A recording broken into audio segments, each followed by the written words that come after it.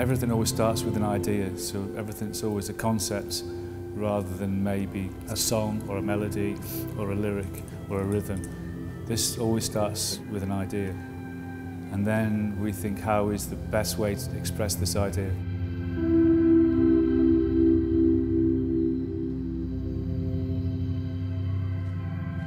In this project here in Taiwan, working with space, it was the idea, how do you express space?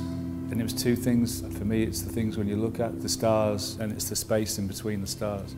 And to me, that was the clue, really. Can these stars as physical objects in the sky express a note or a texture?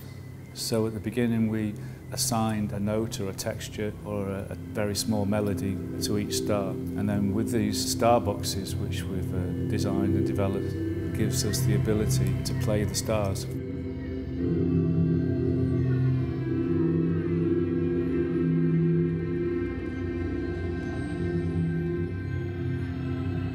What's interesting for me is that these uh, pieces of work, they're never ever finished. They're always fluid, they're always moving. And trying to find that balance between intent, between when you intervene and when it's necessary to let go and let the universe or chaos unfold. And that's the exciting thing. Rather than going in with something which is preformed and pre-thought in our head, it's actually responding to either the sounds that the star makes or responding to the sounds of the bees. So it's trying to find the harmony between these two things.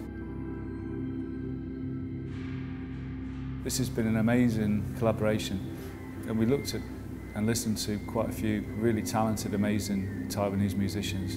And we started composing some pieces of melody, music, textures, and then we sent some of these textures and little samples over to Fu-Jui to listen to, to maybe just get an idea of maybe the atmosphere we were going in.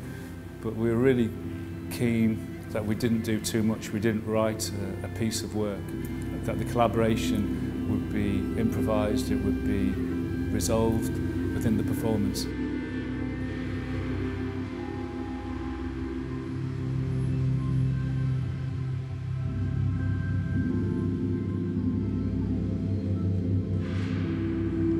think you get a feeling and a sense that there's a lot of people listening. There's a kind of a collective amount of people all around you and all your senses become heightened.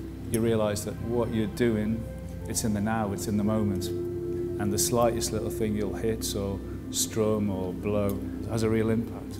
And we loved it. We, we thought it was really special.